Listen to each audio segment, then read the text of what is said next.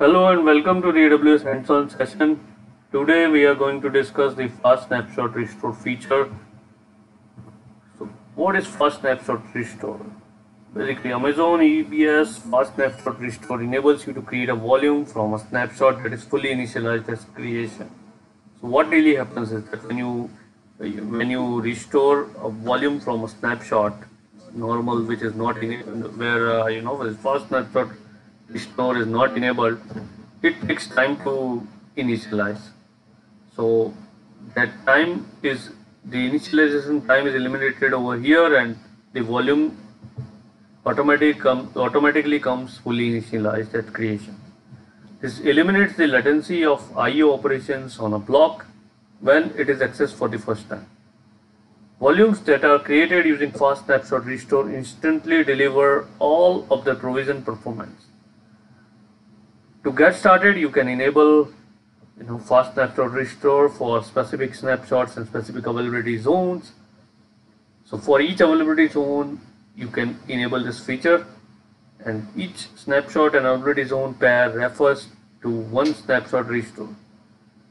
When you create a volume from one of these snapshots in one of its availability zones, the volume is restored using fast snapshot restore.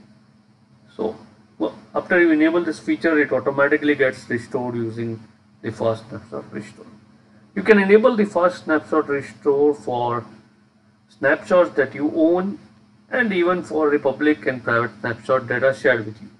So if someone has shared a snapshot with you, you can enable or disable the fast snapshot restore using uh, on the private or public snapshots.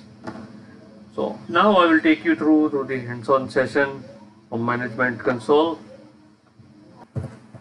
I'm logged into my EC2 management console. I'm under EC2 section under volumes. So I have an 8 GB volume over here.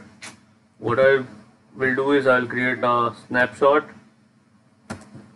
demo snapshot.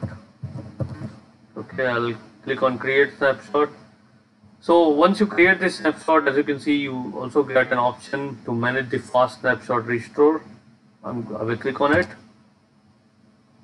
and it will show you three availability zone.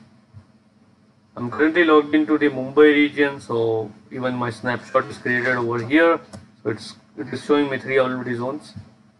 I'll click on uh, one of the availability zone it's gonna pop up a warning message saying that additional charges can apply and fast snapshot restore is built per minute with a one hour minimum. And charges can vary by region. So for example price in you know US East 1 is 0.75 per hour per snapshot per already zone it can also vary for the Mumbai region. You can uh, enable uh, like you can enable it for multiple uh, availability zones and you can disable it as well. So I'm not gonna enable it now since there are additional charges that can apply to my account. But after you enable you will get like whatever volumes you restore from the snapshot it will come up fully initialized.